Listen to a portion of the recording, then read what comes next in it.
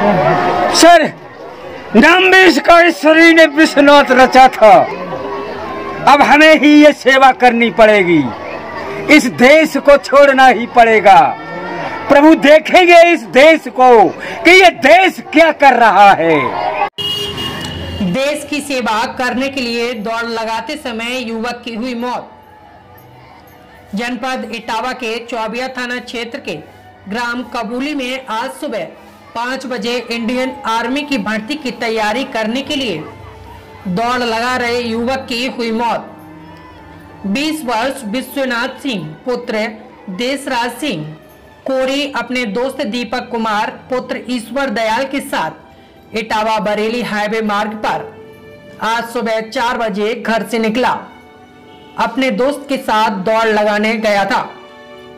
और वापस घर लौटते समय अचानक गस खाकर गिर पड़ा। उसके दोस्त दीपक कुमार ने उसे उठाया और परिजनों को सूचना दी। मौके पर पहुँचे परिजनों ने देखा तो उसकी मृत्यु हो चुकी है।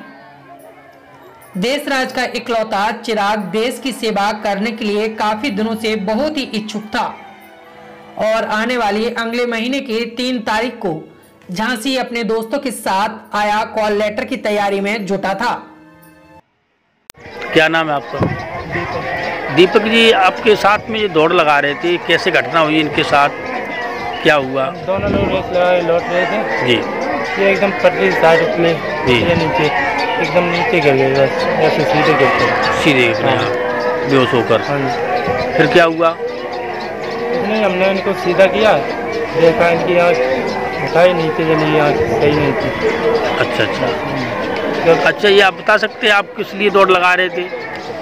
हम लोग इंडियन आर्मी की तैयारी कर रहे थे। इंडियन आर्मी की तैयारी। हाँ कब जाना था आपको? तीन तारीख को। कितने लोग हैं ऐसे जो आर्मी के लिए वहाँ जाना हैं छः सात लोग हैं गाँव के। छः सात लोग। हैं हाँ। देश की सेवा के लिए पुलिस में वो मैं आर्मी में जा रहा था। हम्म। आ, कल फॉर्म भी देना था इन- इन- पेपर देना था।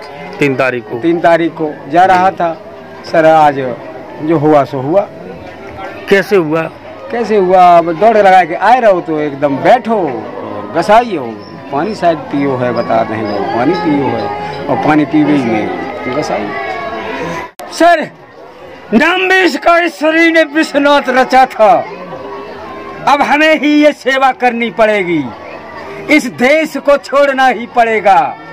प्रभु देखेंगे इस देश को कि ये देश क्या कर रहा है। हम देखेंगे। इस विश्वनाथ नाम को उस परमात्मा ने रचा था कि शरीर से रचा था मैं जानता हूँ इसे। और हमें अब खुद ही सेवा ये करनी पड़ेगी। सारी दुनिया को अंत करके तभी जाएगा ये शरीर कि सारी दुनिया को फाड़ के रखेगा। एक ही बच्चा था आपका? एक ही बच्चा ये पैदा हुआ था।